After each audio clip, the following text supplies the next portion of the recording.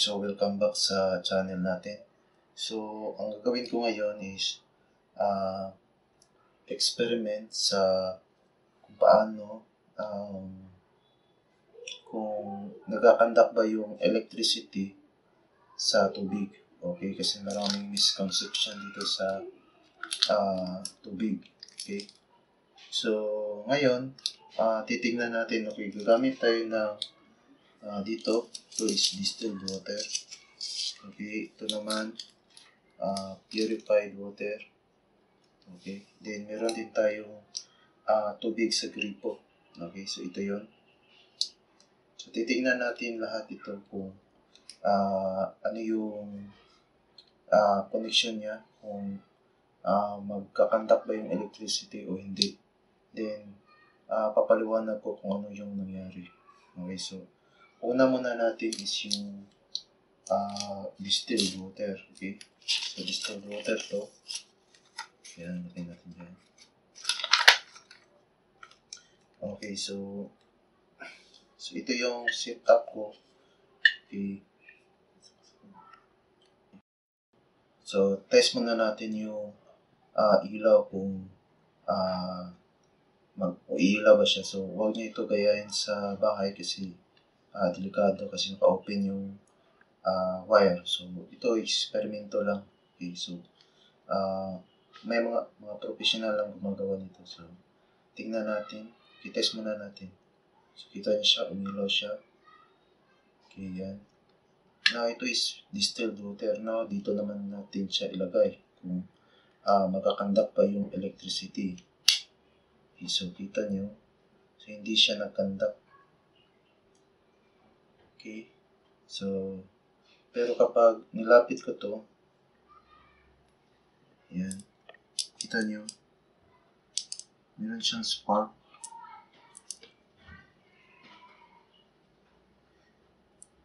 Okay, nag-connect siya.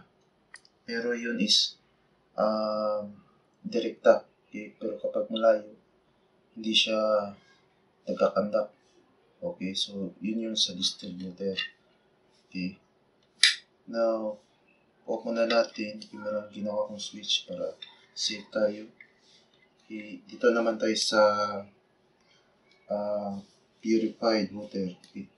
Yung, kung hindi nyo alam, yung distilled water is uh, parehas lang siya pero iba yung paraan ng kanyang uh, proseso. Okay? So, yung distilled is uh, kukuluin, okay, boiling. Yung purified naman is yung uh, marami siyang paraan, okay. Uh, pinaka-common yan is yung uh, filtration, okay. Uh, para lang yung ganito yung distilled at saka purified, okay. Uh, parang naglinis ka ng sahig. Ang ginamit mo, yung isa, gumamit ng uh, walis. Yung isa naman gumamit ng uh, vacuum cleaner, okay? So, uh, parehas lang yung uh, intention nila malinis yung sahig, pero iba yung paraan. So, ganun yung kaibahan ng purified at saka distilled water. Okay? So, ito is purified water. Okay, tingnan natin kung uh, magkakantak pa siya. So, on muna natin to test natin bago natin pailaw kung makita nyo yan. So, tingnan natin dito. Kita nyo, hindi, hindi pa rin siya nagkanda. Pero, meron, kita nyo, meron siyang maliit. Kita nyo yan. Yan. Tingnan nyo yung, tingnan nyo yung ilaw. Okay. Meron siyang maliit na kumikira. Nakita nyo habang lumalapit yung, kita nyo. So, uh, kasi yung so kasi yung purified water kasi hindi talaga siya uh, hindi buo yung pag uh, uh, pag-filter niya. Hindi parehas dito sa distilled is uh, maganda ang kanyang pagka uh, purified sa tubig. Okay. mas effective yung distilled water kaya mas mahal din. At mas mahirap siyang uh, mas mahirap yung process Okay, dito naman tayo. Off muna natin to. dito naman tayo sa ah, tap water. Okay, yung tap water, ito yung tubig doon sa gripo natin. Okay.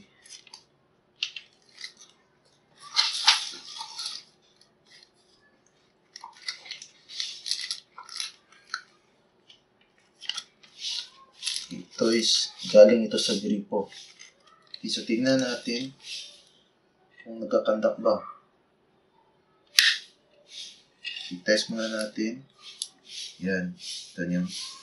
Uh, umilaw. Tapos, lagay natin dito. Parehas, pareha din yung process. So, kita nyo, doon pa lang, meron siyang connection. Okay. Yan, di ba? Ah, pag mas malapit ko, ah, lalakas yung connection niya.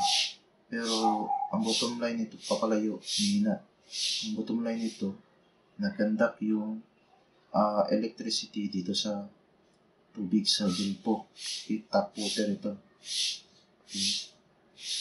So, bakit siya nagandak? Kukunan natin to. Kasi yung tubig kasi sa uh, gripo is maraming impurities. Okay, yung impurities, yun yung dahilan na nagandak yung electricity. Okay, tulad din yan sa mineral water. Ah, ibang liquid, okay? Yung impurities yung nag-cause kung bakit uh, nag-conduct yung electricity. Okay, hindi talaga yung water, tubig, ang dahilan ng nag-conduct yung electricity, kundi yung mga impurities. Okay? So, maliwanag tayo dyan. So, another experiment, okay, para mas maintindihan natin. Okay, so, balik natin yung distilled water. Okay, itong distilled water.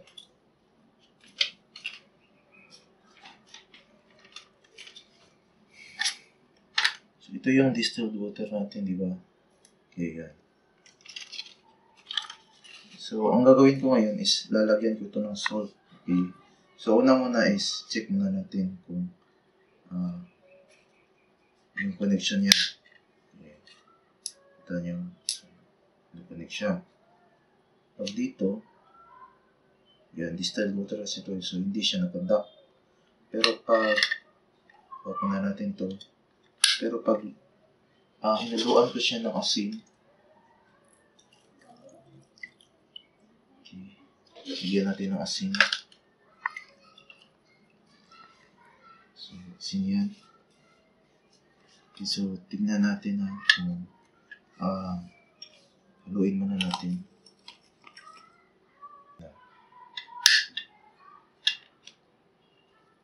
Check muna natin. Yan. So, meron siyang ah connection. Paglagay ko dito, di yan, di ba? Kita nyo? Ah, umilaw siya. Okay. So, dahil yan sa asin, kasi yung asin, yung meron siyang properties na ah nagpa, nagkakanda, uh, nagkakos ng ah conduction dun sa electricity natin. So, ah yun yung ah epekto ng asin. Okay? So, ngayon, so ganito lang yung experiment natin. So, doon naman tayo sa theory. Okay, so, ah specifically yung ah, yung tubig hindi talaga siya nagkakandak ng electricity okay? Hindi siya good conductor okay? So maliwanag tayo din maliwanag tayo doon.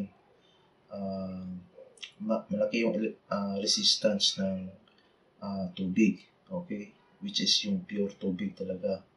Pero pag naluan niya ng mga substance okay tulad ng mga impurities okay tulad ng asin, tulad ng ah mga vinegar, okay? Ah, yan yung nagkakos para mag-conduct yung electricity. Okay? Doon din sa tubig sa gripo, okay? Ah, yan yung ah yung mga impurities, yun yung dahilan kung bakit nag-conduct yung electricity. Bakit tayo nakukuryente. So, advice ko na lang kasi hindi naman pure water yung palagi nating na ah, nakikita yung nagagamit. Okay? So, meron yung mga impurities. General tubig is ah, maraming impurities. Kaya, delikado pa rin yung ah, tubig, yung liquid, na mag-conduct, yung, ele- ah, mag-conduct ah, as a conductor sa electricity. So, ah, ingat na lang. So, to advice ko na lang is, i-mindset nyo na lang na yung tubig is ah, conductor. Okay? Ah, maganda yun na mindset. Okay? Para hindi tayo madisgrasya. Pero, kung specific, ah, specific speaking, yung tubig hindi talaga siya good conductor. Kaya yung iba, may nagsasabi tulad ng mga professional is yung tubig ah, hindi siya uh, nagkakandak sa electricity na mali yun. Pero dahil kailangan din natin ng safetyness so dapat i-mindset natin yung electricity uh, nako, uh, ng kuryente. Okay? So, ganun lang.